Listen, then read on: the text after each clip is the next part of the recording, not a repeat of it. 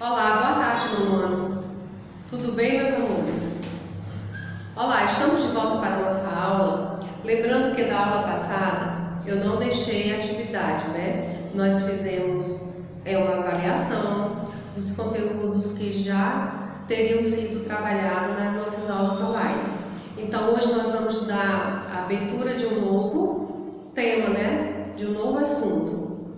Então, o nosso assunto de hoje é paraíso terrestre, o mundo a ser construído. Na opinião de vocês, é possível haver realmente um paraíso aqui na Terra? Será possível que nós teremos um paraíso na Terra? Será possível né, se ter um paraíso na Terra? No mundo em que nós estamos vivendo, né, com tanta coisa acontecendo ao nosso redor. Então, fica essa reflexão com você para a gente poder dar início ao nosso, à nossa aula de hoje, ok? Então, você já se imaginou num lugar arborizado, água limpa, nos riachos, aves de cantos maravilhosos, animais, plantas, terra e homens em plena harmonia? Você já se imaginou viver num lugar do qual nós acabamos de descrever como que ele seria, realmente ele seria um paraíso, né? Onde, ter, teríamos árvores, né? ambiente arborizado, água limpa, riachos maravilhosos, animais, plantas, tudo isso realmente a gente imaginando, né? Seria realmente um paraíso.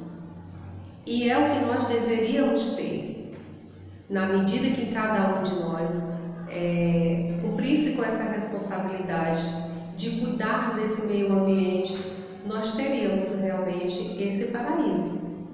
Na medida que nós estamos indo, né, as consequências que nós estamos hoje passando é, referente ao nosso meio ambiente, com todas as questões ambientais acontecendo, esse paraíso realmente está bem difícil de ser realizado dessa forma, a qual a gente acabou de ver aqui no texto.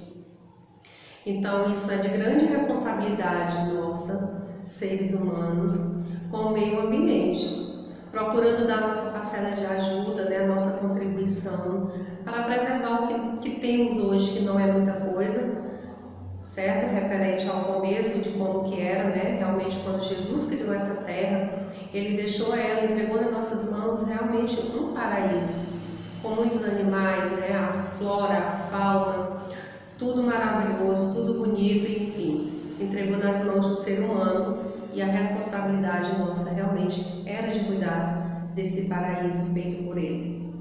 Felizmente, muita coisa precisa ser feita, né, para termos esse paraíso.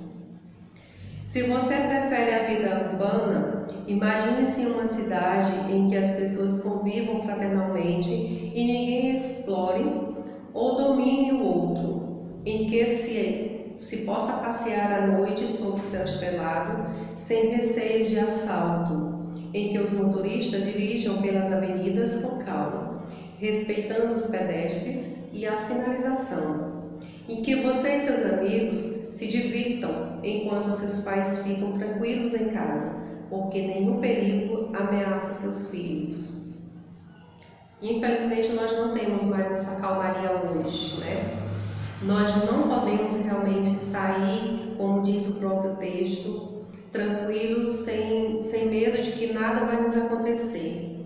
O mundo em que nós vivemos hoje é bem diferente do que relata o próprio texto. Bom seria se tivéssemos essa oportunidade, onde pudéssemos sair, divertir, sem a preocupação da violência, sem a preocupação dos assaltos, que hoje isso acontece, nós estamos na porta da nossa casa, infelizmente. Nós não temos mais essa liberdade como antes, que é o de passear pelas ruas até tarde, de ficar sentado na porta da sua casa até tarde, né, de bater papo com o seu vizinho, Hoje a gente observa que é cada um nas suas casas. O perigo hoje nos rodeia né, constantemente, 24 horas. Precisamos ter sempre esse cuidado, onde estamos, com quem estamos. Realmente não temos essa paz, texto nos fala. Nem na vida é, rural não é possível mais hoje se encontrar. Nem em todos os lugares, a maioria hoje dos interiores né, da vida rural, não se tem mais essa paz que a gente tanto quer, que a gente tanto precisa. Então a vida urbana ela é bem mais corrida, tudo é bem mais é, perigoso, vamos dizer, mais difícil, mas que a vida rural também hoje em dia ela não está ficando para trás. Estão acompanhando quase que o mesmo ritmo da vida, da vida urbana. Então, o que, é que diz o próprio texto? Viver uma vida feliz, viver uma vida tranquila, né, livre, despreocupado de perigos que lhe rodeiam, esse seria uma qualidade de vida né, para todos nós. Poder respirar o ar livre, poder respirar o ar puro, poder sair, passear a hora que você bem quisesse. Então vamos lá. O nosso próximo ponto diz o seguinte: o mundo ideal do Gênesis. No capítulo 2 do livro de Gênesis, traz a descrição de um paraíso terrestre.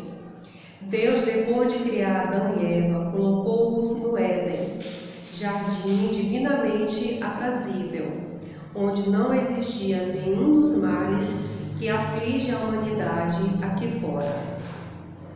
No jardim do Éden, a terra regada por água farta produz árvores e frutos abundantes. O trabalho não é opressivo, mas leve e gratificante a mulher não é dominada pelo homem, mas é sua companheira, pois nasce do seu lado, de sua costela. É o osso de seus ossos, carne de sua carne. A violência não existe, só a harmonia perfeita.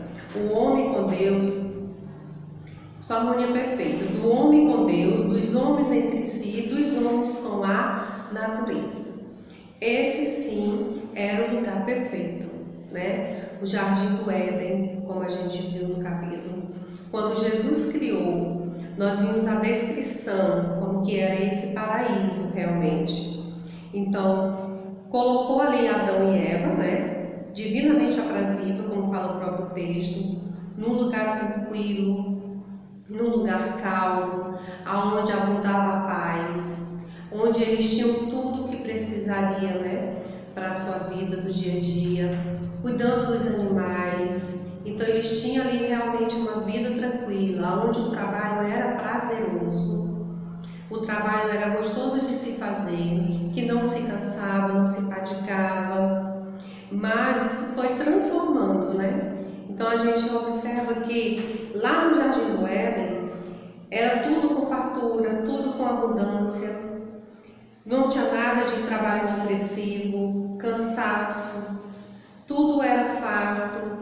Então o, homem né, e a mulher, como fala o próprio texto, a mulher não era dominada, que é uma parte que hoje em dia a gente pode observar em relação ao que diz o próprio texto, né, da mulher ser dominada é, pelo homem. Vamos dizer que hoje em dia, já depois de uma certa luta, de um, certo trabalho, de uma certa conquista, a mulher ela tem realmente conquistado seu espaço, né? ela tem alcançado parte dos seus objetivos, mas que muito ainda estamos, ainda deixa né? realmente a desejar. Mas ali no Jardim do Éden, nós podemos observar que nada disso acontecia. Não tinha violência, tinha harmonia entre si, né? Tinha harmonia sempre entre os dois, entre a natureza, entre Deus e o homem. Sempre havia essa harmonia. Então, diferente do que nós temos hoje, o mundo que nós temos hoje, né? Da violência que a gente pode observar, do trabalho opressivo que existe ainda no nosso meio. Então, tantas outras coisas que nós podemos observar que no Jardim do Éden serviu de paz, era uma, era uma vida maravilhosa. Aqui fora, hoje nós estamos vendo que isso tem acontecido tudo realmente ao contrário. Então, tudo isso acontecendo por quê? Tudo que nós temos diferente hoje foi devido a uma consequência, né? Tudo que nós estamos passando hoje foi devido a uma consequência, e do pecado. Então, em tudo que Eva e Adão pecam, eles são colocados né, por Deus para fora do jardim. E aí cada um vai viver a sua vida conforme Deus determinou. E hoje nós estamos realmente dando continuidade a essa vivência, né, a essa vida, o que eles levavam dentro do jardim, só que bem diferente do que eles viviam. Então isso tudo é cumprimentos bíblicos, né? E se tratando do jardim, o qual nós desejamos né, um dia, é, isso se fala um jardim é, paraíso né, aqui na Terra, isso depende muito da questão humana, da preservação, como já falei lá no início do nosso texto. Então, cada um fazendo a sua parte, cada um dando a sua contribuição, não será possível voltar a 100% do que, que era, né, quando Jesus fez e entregou as nossas mãos. Mas a gente pode melhorar e muito o que nós temos hoje. Ok, meus amados? Então, nosso texto ele vai ficar por aqui, porque na próxima aula a gente vai dar continuidade a esse assunto e também a gente vai fazer a atividade do mesmo. Ok? Então, até a nossa próxima aula.